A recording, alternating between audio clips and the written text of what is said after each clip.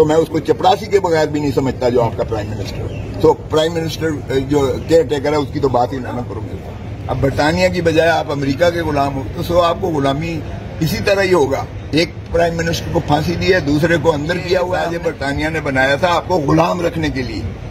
उन्नीस सौ तेईस ही का ऑफिशियल सीक्रेसी एक्ट आज भी लगाया गया गुलाम हो ना? ये भी इतनी बेगैरत कौम हो गई है कि रिएक्ट भी नहीं कर रही है इस पर। इसमें कौन ये जितना रिप्रेशन करेंगे जितना जुल्म करेंगे उतनी ही ये फंसते चले जाएँगे धसते चले जाएँगे। लिख लो लिख लो। नवाज़ शरीफ कभी कभी प्राइम मिनिस्टर नहीं बन सकता। ये लिख ये दिन की यही है।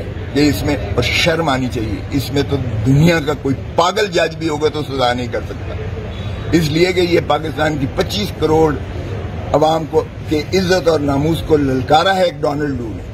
एक थर्ड क्लास ब्यूरोक्रेट कह रहा है पाकिस्तान को कि तुम अपने वज़ीर आज़म को निकालोगे तो अमेरिका तुम्हें माफ़ कर देगा। अच्छा ये है साइफर और यही जो है भुट्टो के फांसी दी गई जब। तो हेनरी किसिंगर ने कहा कि तुम एटम बॉम्ब बनाना बंद कर दो वरना तुम्हें इबरत का निशान बनाए हमने माशाअल्लाह उस वक्त भी बड़ी ताबेदारी की थी।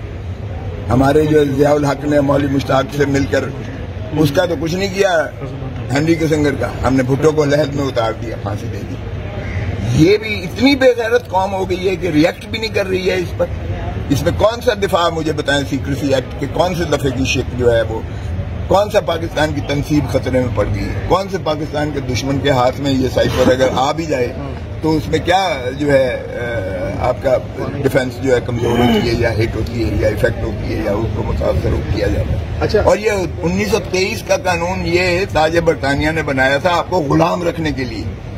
1923 ही का ऑफिशियल सीक्रेसी एक्ट आज भी लगाया गया है। गुलाम हो ना अब बरतानिया की बजाय आप अमेरिका के गुलाम हो तो सो आपको गुलामी इसी तरह ही होगा। एक प्राइम मिनिस्टर को फांसी दी है, दूसरे को अंदर किया हुआ है हमने।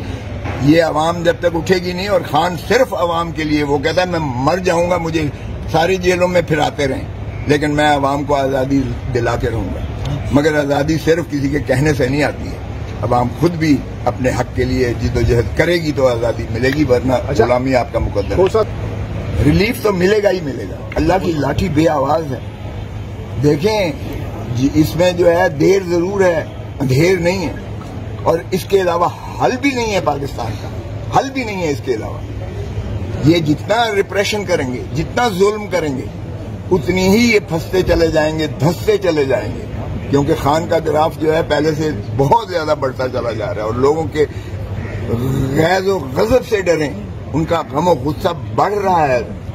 हर रोज बढ़ रहा है। तो मैं समझता हूँ कि होश के नाखुन लें और ये सियासतदान बजाय इसके कि किसी और की डिक्टेशन लें, ये आपस में बैठकर और खान के बगैर ना इलेक्शन होगा, इस मुल्क में ना हो सकता है। और बल्ले के बगैर इलेक्शन आप, आप मुझे अगर केयर टेकर प्राइम मिनिस्टर की उस, उस लग बात की तव- तवज्जो दे रहे हो ना तो मैं उसको चपरासी के बगैर भी नहीं समझता जो आपका प्राइम मिनिस्टर है. तो प्राइम मिनिस्टर जो केयर टेकर है उसकी तो बात ही ना ना मेरे तो आप, आप खुशफहमी में आपकी विश हो सकती है लेकिन ये लिख लो लिख लो।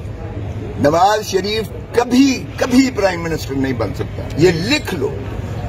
अवाम के दिलों में जो नफरत है ना आए खुद लड़े इसकी जमानत जब्त होगी।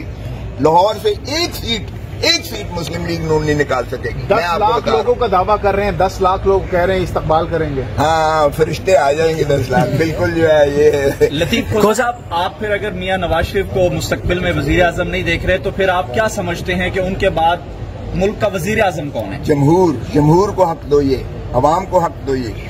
कलेक्टिव विजडम साझी सोच को ये हक दो यही आइन का तकाजा है। Let the people decide this मैं कौन होता हूँ कि किसी को जो है नाम लू आज़म ये पाकिस्तान के 25 करोड़ अवाम का इस्तेकाक है। उन्हें दो, यही रियासत है, यही आइन कहता है, वो जिसको बनाए। ओ भाई, क्या होगा अगर Imran Khan two third majority लेकर प्राइम मिनिस्टर बन जाएगा? क्या हो जाएगा? बेनजीर भुट्टो को इन्होंने हाथ पाँव बाँध कर फारूक लिगारी ने, सजाद अली शाह चीफ जस्टिस ने और उस वक्त आर्मी चीफ ने हाथ पैर बाँध कर इलेक्शन में झोंका था। ज़ीरो, एक सीट नहीं मिली थी पंजाब से। एक, चौदह की चौदह नेशनल असेंबली की सिर्फ़ सिंध से थी और तीन और थी। सारा सीटें बीबी, फिर भी लड़ती रही और रेजिलियंस है अगली दफ़ा बाउंस बैक किया। वो क्या है यार?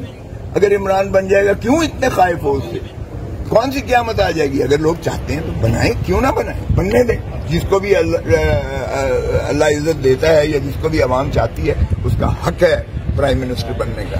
स्कीम ले गए और बड़े भाई साहब को कहा